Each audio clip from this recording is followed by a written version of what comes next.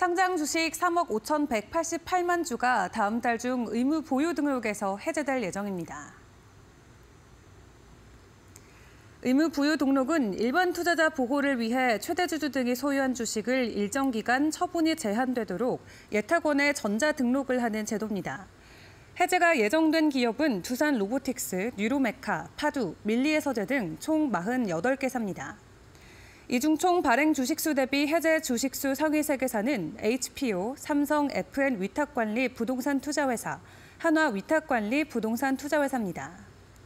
의무 보유 등록 해제 주식수 상위 세 개 사는 이스트 아시아홀딩스 인베스트먼트 리미티드, 삼성 FN 위탁관리 부동산 투자회사, 한화 위탁관리 부동산 투자회사입니다.